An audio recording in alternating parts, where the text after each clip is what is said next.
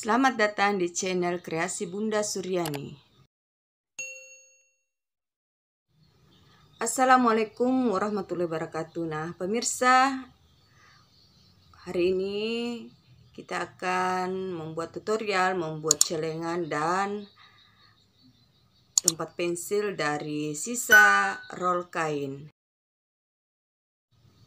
Nah, alat dan bahan yang disiapkan yaitu alat tembak lem, lemnya, kemudian gunting, pisau, lanjut meteran. Ini meteran saya pakai kalau menjahit ya. Kemudian kertas, kertas coklat begini biasa saya pakai untuk ujian atau kertas men boleh. Kemudian roll sisa kain. Lanjut lem box, ini lem box putih ya lanjut ini ada manik-manik ataukah bisa biji-bijian? Selanjutnya ini daun mangga. Inilah daun mangga yang sudah diolah sehingga awet seperti ini di video yang sebelumnya. Nah roll ini jangan dibuang ya. Setelah bunda berikan ilmunya untuk membuat celengan dari daun mangga. Ini merupakan kreasi Bunda dan semoga pemirsa bisa mengaplikasikan dan kita akan uh, mulai diawali dengan mengukur.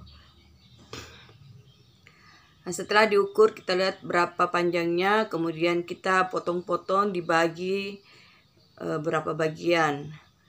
Nah, pemirsa, ini Bunda ukur karena ukurannya ini harusnya dipakai yang yang meteran seperti ini ya incinya. Jadi bunda bisa bagi lima ini ukuran celengannya. Tetapi bunda juga mau buat tempat pensil atau tempat pisau dan gunting. Jadi bunda buat untuk celengan empat. Sementara um, tempat pensil dua yang pertama-tama kita lakukan adalah meng meng menggaris sebelum dipotong kita garis seperti ini ya pemirsa. Jadi kita ambil kertas dulu kemudian kita caranya menggaris seperti ini. Nah, setelah digaris digaris semua ini jadi langkah pertama adalah menggaris. Nah, kita garis semua dulu sebelum kita memotong agar eh, kita saat memotong sekali memotong sekali menggaris kemudian sekalian juga kita memotong. Nah agar efektif pekerjaan kita kita mulai memotong roll tersebut. Nah bisa juga kita pakai alat yang lebih cepat. Tapi kalau bunda ini bunda hanya pakai pisau dan inilah hasilnya pemirsa sudah dipotong. Ini kalau kita mau bagi dua, ini bisa ya pemirsa. Nah ini hasilnya kalau sudah dibagi dua. Lanjut pemirsa, setelah dibagi dua ini empat celengan dan dua tempat pensil hasilnya dari roll yang tadi bunda potong-potong ya Oke, pemirsa, selanjutnya kita lihat untuk bagian bawahnya karena ini berlubang, maka kita mau tutupi di bawahnya pakai karton. Ya, kita garis dulu seperti ini sehingga gampang memotongnya karena kita harus mengukur sesuai dengan ukuran lingkaran tadi. Nah, kita gunting seperti ini dan ini hasilnya kalau mau cepat kita garis-garis memang semua. Lalu kita gunting satu persatu dan inilah hasilnya setelah digunting pemirsa ya. Oke. Nah selanjutnya pemirsa setelah dilihat hasilnya seperti ini kita mulai cara membuatnya. Pertama pertama kita ambil lem nah lem ini kita buka kemudian kita siapkan tempat agar tidak terlalu banyak atau mubasir ya ketika kita mau memakai. Jadi kita mulai ngelemnya digosok dulu di roll yang sudah dipotong-potong tadi. Nah ini kita ambil daun mangganya yang sudah dibasahi. Selanjutnya kita pasang di roll tadi. Jadi ini e, bunda berikan contoh yang ukuran tempat pensil aja ya. Ini kan agak pendek jadi durasinya agak pendek. Dan untuk pembuatan celengan juga ini persis seperti ini caranya. Hanya saja kalau celengan harus ditutupi kedua lubang atas dan bawah. Itu saja yang membedakan ya pemirsa. Tetapi dalam hal ini Bunda hanya ingin memperlihatkan gimana sih caranya memasang daun mangga tersebut di alat ataukah apa yang ingin kita buat. Jadi tutorial kali ini Bunda akan mengajarkan cara membuat tempat pensil atau tempat pisau dan membuat celengan.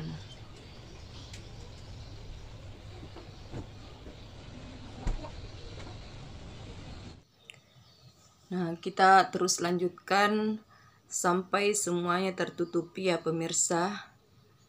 Jadi daun mangganya dipasang satu persatu dengan sabar dan telaten. Inilah kreasi seni.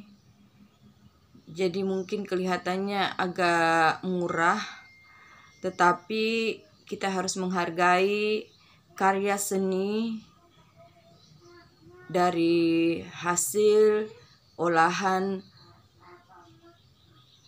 apa yang tersedia di negara kita.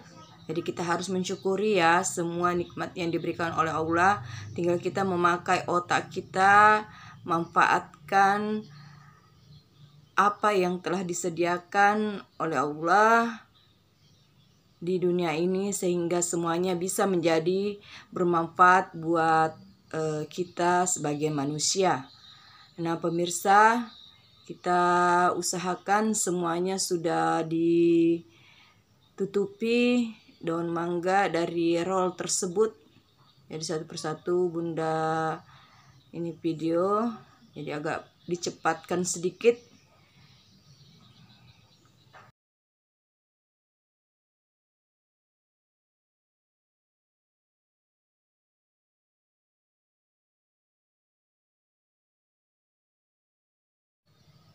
Nah, pemirsa, setelah selesai kita ambil lingkaran tadi untuk menutupi roll yang sudah dibuat tadi ya. Ini sudah selesai rollnya. Tinggal lingkarannya atau tempat penutup yang berlubang. Ini kita berikan juga daun mangga. Nah, pemirsa kita berikan daun mangga seperti ini ya. Jadi kita lem dulu biar pas kita pasang lebih memudahkan. Jadi sekalian kita ngelem dulu kemudian baru kita pasang satu persatu daun mangganya sesuai dengan pola yang telah disediakan. Nah seperti ini ya pemirsa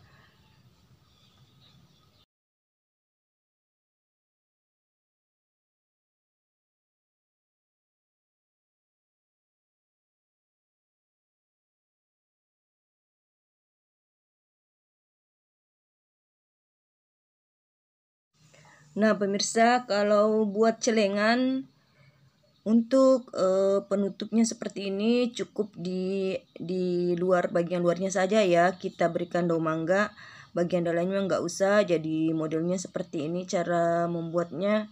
Tetapi jika tempat pensil atau tempat pisau yang mau dibuat semuanya ditutupi dengan daun mangga. Jadi bunda ini kasih contoh kali ini hanya uh, contoh penutupnya, contoh membuat celengan ya pemirsa. Nah ini hasil daripada tadi yang sudah kita buat. Nah seperti ini ya pemirsa. Nah, setelah kita buat seperti ini kita ambil kertas ujian tadi, pembungkus ujian. ataukah bisa ambil kertas semen tonasa ini kita gunting-gunting seperti ini hasilnya lalu kita lilit. Nah setelah dililit kita eh, kepang. Sehingga hasilnya seperti ini ya pemirsa. Setelah dikepang. Dan selanjutnya kita pasang di uh, roll yang sudah terpasang daun mangganya. Nah ini kita pasang pemirsa memakai uh, pistol tembak atau lem lilin Nah, kemudian setelah selesai semua, ini bisa kita selesaikan lalu kita berikan manik-manik ya pemirsa setelah semuanya kita bentuk kreasi memberikan perhiasan di roll tadi yang sudah ditutupi daun mangga. Nah kita lihat sendiri bagaimana perubahan yang terjadi setelah kita berikan e, kertas tadi ya Lanjut pemirsa kita ambil manik-manik ataukah biji-bijian. Jadi ini saya ambil manik-manik juga biji-bijian ya. Ini ada dua macam saya pasang. Untuk manik-maniknya saya lingkari eh, sebagai bagian di pinggir, kemudian biji-bijian karena biji-bijian agak susah didapat jadi saya pakai hanya satu biji-bijiannya. Nah, ini hasilnya pemirsa. Kemudian kita bisa isi gunting pisau, bisa juga polpeng ya. Nah, ini alhamdulillah selesai. Nah, untuk saya lanjut saja ke pembuatan celengan. Saya langsung uh, ke pembuatan celengan. Jadi ini lanjut langsung ke pemasangan per pernak-pernik di bagian celengan tersebut. Ini kita bentuk bunga dari manik-manik kuning di bagian pinggir dan untuk tengahnya kita tambahkan biji-bijian berwarna merah sehingga terbentuklah bentuk bunga Nah, oke okay, pemirsa, kita lihat sendiri hasil daripada olahan kreasi daun mangga tersebut. Jadi pemirsa boleh menambahkan mau model apa, silahkan saja sesuai dengan kreasi pemirsa. Dan saya rasa pasti di antara pemirsa yang sudah melihat ada yang lebih kreatif hanya saja kali ini saya membuat tutorialnya agar lebih tahu. Oke, alhamdulillah inilah hasil daripada uh, tutorial tadi. Jadi empat buah celengan dan dua tempat